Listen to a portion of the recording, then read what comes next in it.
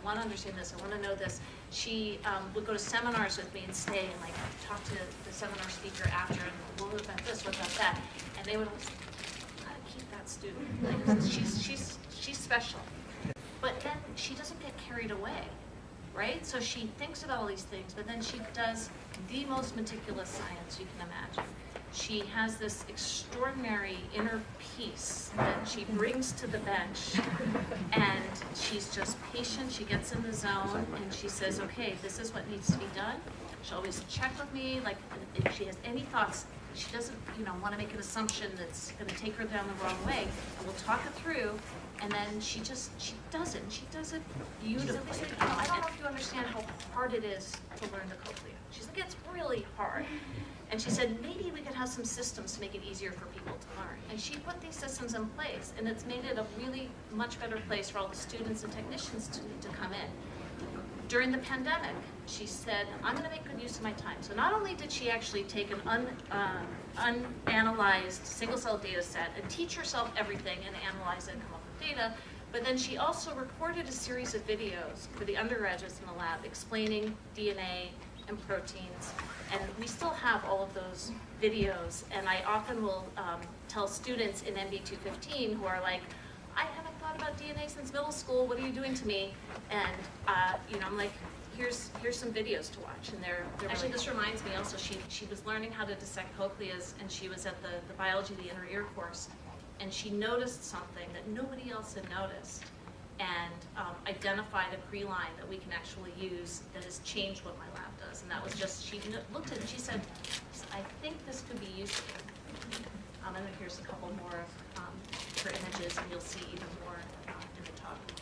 So I'll end by saying that it's been an absolute pleasure to work with you. I'm so proud of everything you've done and what you've brought to the lab. And um, you, you will have, you absolutely have a legacy and a home in our lab for, for forever. So thank you,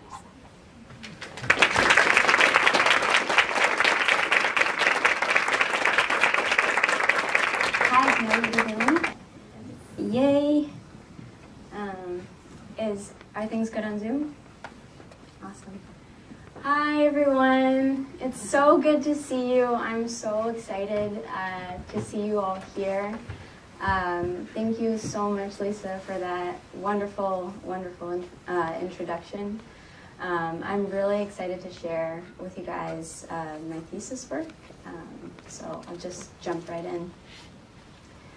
So, our auditory system encodes incredibly complex sound information.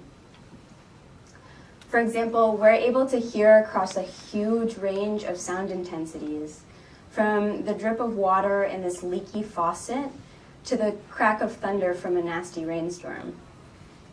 Additionally, our auditory system can help us localize unseen cues or predators.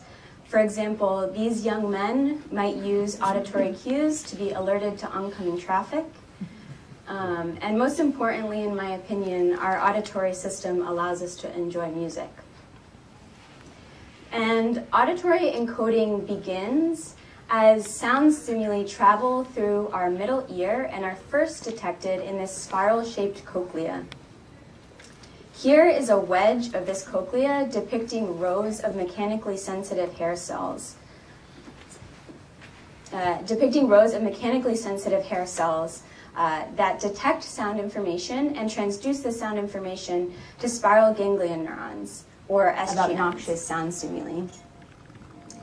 Meanwhile, there's a single row of inner hair cells uh, which transform sound waves into graded electrical potentials that are then transmitted to type 1 SGNs via these highly specialized synapses. Um, and type 1 SGNs encode all of the information that we think of as hearing. These cells are charged with the formidable task of relaying all the information about the frequency, intensity, and timing of the sounds we hear. Um, and they do so with incredibly high speed and fidelity in incredibly complex sound environments. Synaptic and molecular heterogeneity of type 1 SGNs, which I'm going to focus on for the rest of my talk and simply refer to as SGNs. So early electrophysiological studies found that SGNs can be binned into three electrophysiologically So in the upper left-hand corner, you can see the staining for the ribbons that we use that we stain for with CTBP2, and each individual dot or punctum corresponds to an individual ribbon.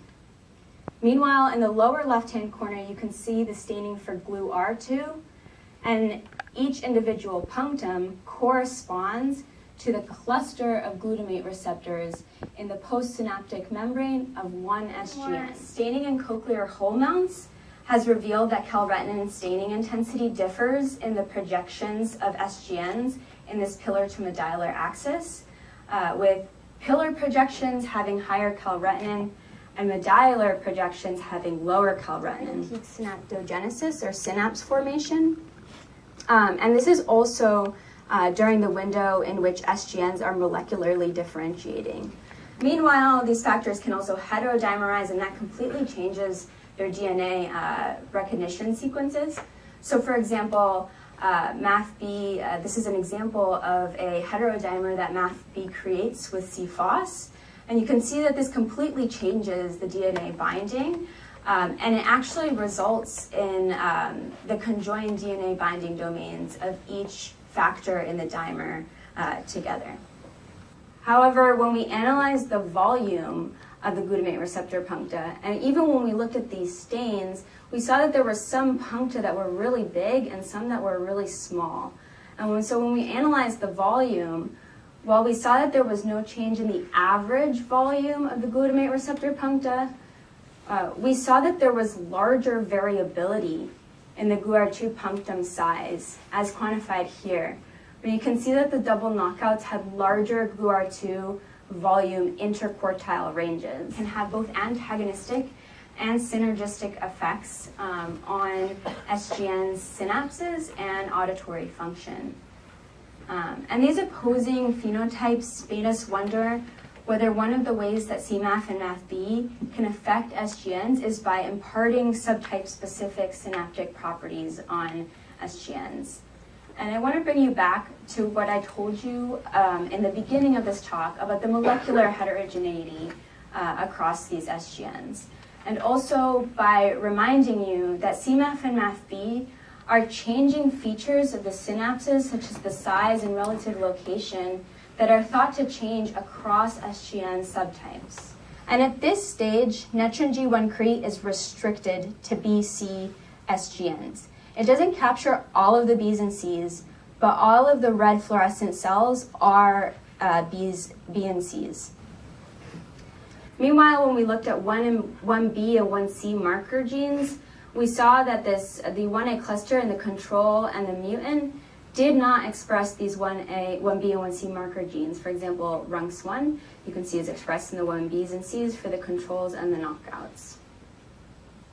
So this suggests that the CMAF knockout 1A cluster is still likely retaining many features of a 1A identity. So to look at gene expression changes between control and mutant SGNs, I compared control and mutant SGN transcriptomes and asked what were the differentially expressed genes when I compared all control SGNs to all mutant SGNs. And I saw that there were several differentially expressed genes as shown on this volcano plot, uh, which is a plot of the average log two-fold change um, versus the negative log 10 of the p-value. While the control neurons were still forming their three distinct clusters, the double knockouts were forming their own independent amorphous cluster. And I want to point out that um, when we looked at subtype markers, uh, such as 1A markers such as uh, calretinin, we saw that this double knockout cluster didn't express any 1A markers. Meanwhile, when we looked at B and C markers, we saw that this double knockout cluster seem to almost exclusively express 1B and 1C markers. But I want to point out that the double knockouts are not suddenly clustering with the Bs and Cs. So it's not the case that they're becoming Bs and Cs. And there's really cool uh, work coming out now uh, looking at the transcription profiles of SGNs across development and showing that they travel through this common BC precursor state and then downregulate BC genes to split off into the 1As. Therefore, it's possible that the double knockouts are somehow arrested in development. Meanwhile, we seem to see the opposite effect in MAFB knockouts, uh, which uh, had attenuated peak one amplitudes and smaller synaptic puncta, and seem to drive expression uh, in the B and C SGNs. And I think this is a really beautiful way of how biology can use just two molecules to exact extremely diverse features across a population of cells.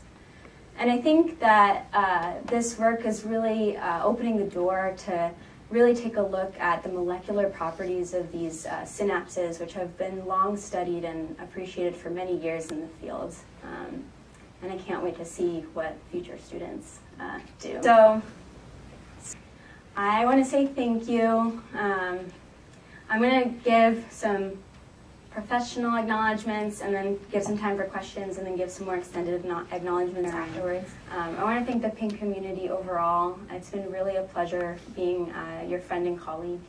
Uh, I want to thank USN uh, for being such a wonderful community. Uh, the faculty, the facilities and support staff, the neurobiology imaging facility uh, who helped access us, uh, give us access to Imaris, the virus sequencing core, as well as my uh, fellowship that funded me for a couple of years.